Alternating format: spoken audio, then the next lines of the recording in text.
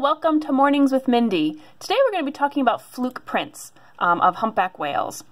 You'll see right here this is a, mother who's going down and you're going to see her calf. You'll notice once they go under the surface and they start swimming, they're, they're going to make this flat, kind of smooth spot on the surface of the water there. That's what we call a fluke print. Um, the early whalers, they thought that was actually caused by oil that was seeping out of the animal's body. Uh, turns out it's no such thing. It's really just caused by um, their powerful tail flukes. As they swim through the water, it causes, causes turbulence basically under the water, and they're so strong as it comes up, it kind of smooths out the surface of the water momentarily, maybe 15 seconds or so, depending how choppy the ocean is itself. Um, you'll notice it will dissipate as the waves kind of crisscross back over top of it.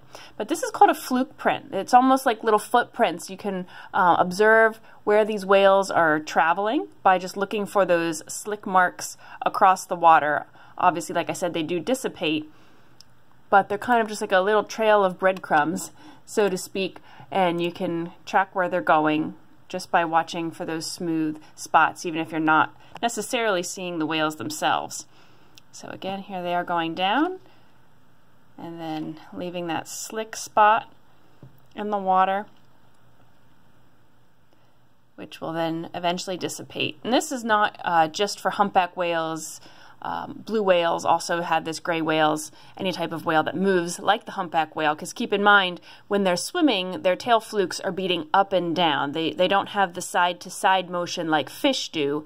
Um, whales beat their flukes up and down, so that's what causes the surface of the water to then get very smooth and calm for those couple of moments. So again, that's called a fluke print and it is not oil. It's simply um, the disturbance of the water uh, caused by their tail flukes, which smooths out the top because it's so powerful. It actually calms the water just for a, for a short time.